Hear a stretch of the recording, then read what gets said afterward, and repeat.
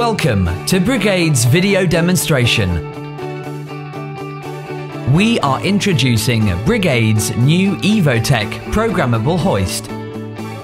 It is powered by the vehicle's battery and has the capability to lift from 80 up to 150 kilos.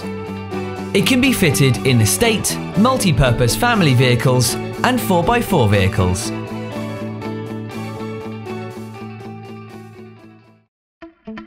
The Evotech hoist has unique features, which allows the user to easily program a loading cycle.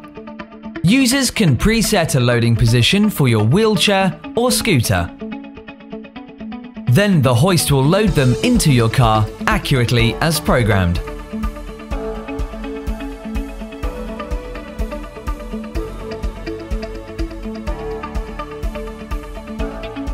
To program the loading position, you need to first load your wheelchair or scooter in the correct place in your vehicle by using the up, down, in and out buttons on the handset.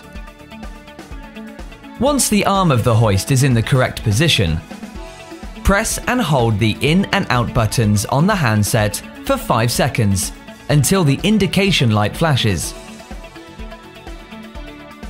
Now the loading position has been recorded. From now on, when loading the wheelchair or scooter, the hoist's arm will stop at the perfect position, as programmed. The loading position can always be reset as many times as you require. Once the loading cycle is finished, you can remove the spreader bar.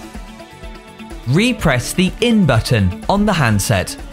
This will drive the hoist arm in even further to achieve a clearer view in the vehicle's rearview mirror.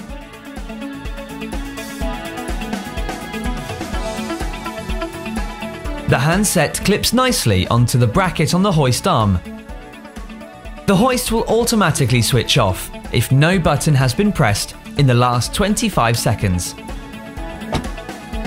Thank you very much for watching. See you soon.